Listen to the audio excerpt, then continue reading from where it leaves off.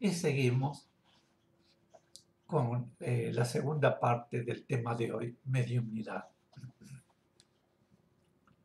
En la preparación para poder utilizarlos como instrumentos de bien, los seres tratan a los mediums muy delicadamente. Las descargas de energía les son realizadas en forma progresiva y casi imperceptible, hasta que llega el momento de la manifestación. Al producirse la manifestación, el contacto ya más intenso de esas vibraciones, que son extrañas al conjunto vibratorio de la persona de medium, produce una reacción física y psíquica, algunas veces un tanto desagradable, pero siempre pasajera. Según sea la sensibilidad del individuo, puede ser más o menos intensa, pero nunca tendrá consecuencias perjudiciales.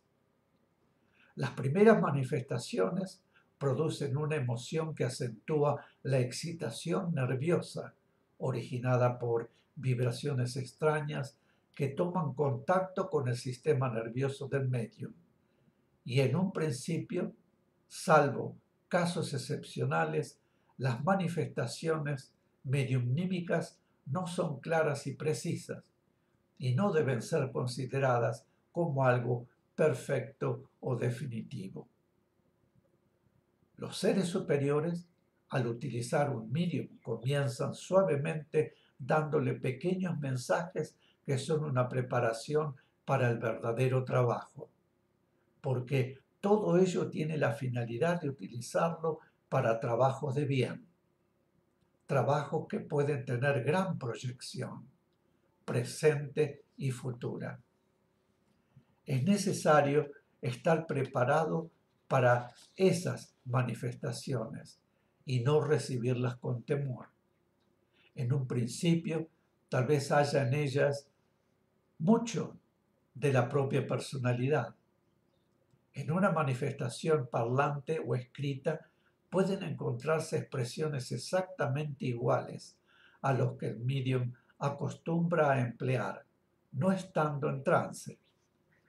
Pueden encontrarse expresiones que, si bien no son expresiones propias del medium, concuerdan con pensamientos que éste ha tenido o sugerencias que ha sentido en momentos cercanos a la manifestación. Esto no significa que el medium está sugestionado ni que haya engaño, sino que la preparación del medium se realiza en forma paulatina y progresiva y que ya antes del momento de la manifestación su mente es preparada para recibir ciertas ideas o conceptos que deberán expresarse. La finalidad superior es obtener instrumentos, canales, a través de los cuales las fuerzas superiores puedan actuar fácilmente en nuestro mundo. Para ello es necesario eliminar de los centros a través de los cuales se utiliza al medium desde lo invisible todo aquello que signifique nuestro yo humano, en pensamientos, ideas y sentimientos.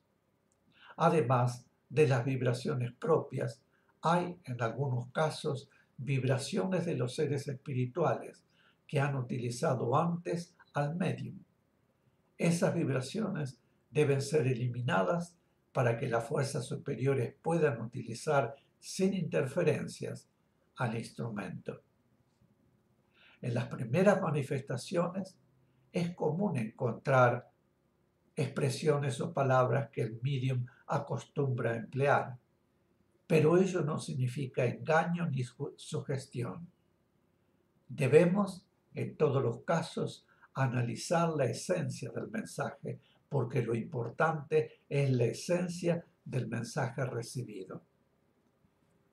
La forma carece de importancia si el mensaje es puro, si nos habla de amor, fe, armonía, unión, perdón de las ofensas.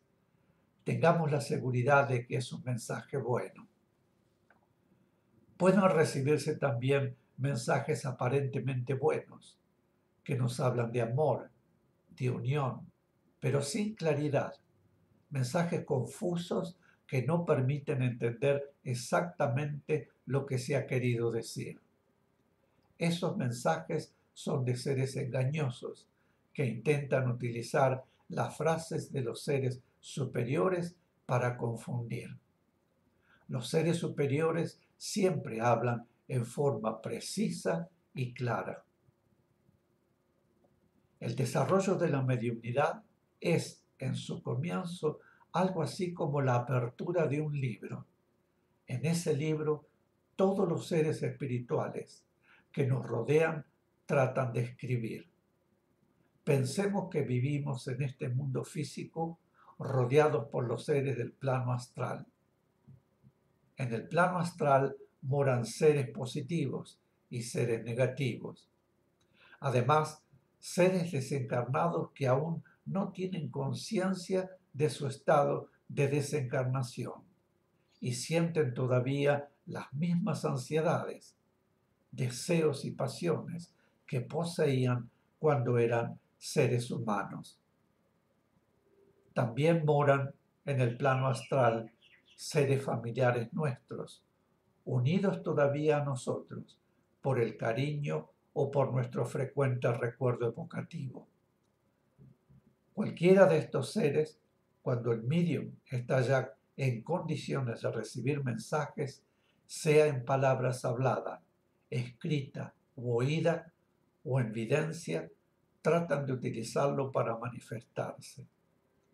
Por tanto, todo mensaje o manifestación que se recibe deberá por siempre perfectamente analizado. Si al pedir o al recibir un mensaje se tiene, aunque más no fuere, una chispa de vanidad, de interés material o deseo personal egoísta, se alejará la posibilidad del contacto con planos superiores y por afinidad se establecen fácilmente contactos con planos inferiores.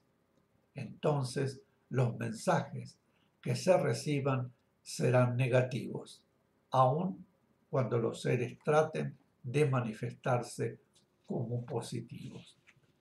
Mis queridos, hasta aquí eh, la mediunidad, el tema de la mediunidad, verdaderos conceptos sobre la mediunidad y las facultades mediunímicas. Luego de una pausa vendré con la última parte del mismo tema, pero trata el análisis de las manifestaciones, canalización y capacitación para el servicio.